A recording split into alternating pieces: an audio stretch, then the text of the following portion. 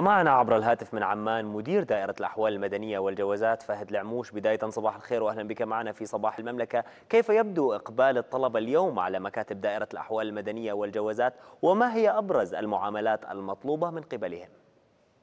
صباح الخير لك ولكل المشاهدين ولكل المملكة. صباح الوطن الجميل إن شاء الله. إحنا استعداداتنا مسبقا استعدينا لهذه المرحلة. وبالتالي آه، مكاتب خدمة الجمهور في كل مكاتب المملكة المنتشرة من الشمال إلى الجنوب آه، يتم تقديم الخدمة من آه، قبل قبل الدخول إلى الدائرة حيث تم تزويد هذه المكاتب بموظفين وطابعات إضافية حتى يتم استخراج شهادات البلاد.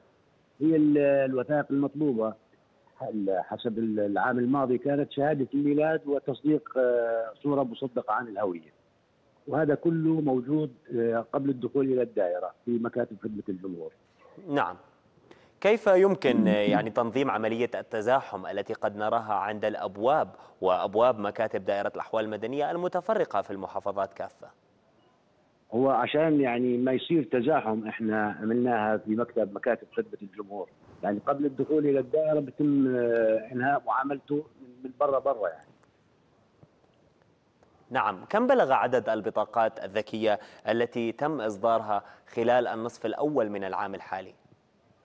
والله ما عندي إحصائية محددة لكن هي آه، البطاقات اللي مصدرة من, من, من لما تم إعلان عن الهوية الذكية من عام 2016 بلغ 5 مليون تقريبا.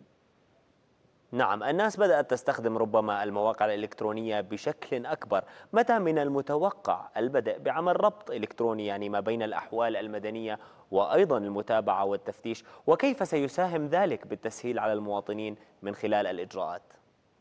هو البرنامج مربوط مع كل دوائر المملكة يعني مع كل الوزارات. المتابعه والتفتيش هاي شيء ثاني هاي ما تتعلق بالتوجيه تتعلق معاملات المواطنين من الضفة الغربية.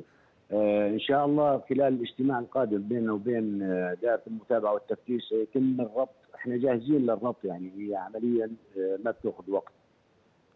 نعم بدنا نتمنى كل التوفيق بالتأكيد خلال الأيام القادمة والإنجاز أكثر على المعاملات الإلكترونية لأنها ربما توفر الوقت والجهد على المواطنين. لنتحدث أخيرا عن مدى إقبال المواطنين بشكل عام على إنجاز المعاملات إلكترونيا.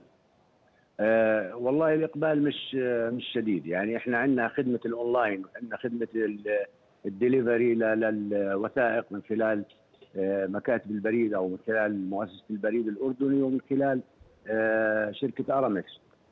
لكن الإقبال ضعيف جدا. حتى الشهادات للتوجيه كان بإمكانه يقدمها أونلاين وتجي للبيت أو إنه هو يطلب استلام الشهادة من أي مكتب قريب له.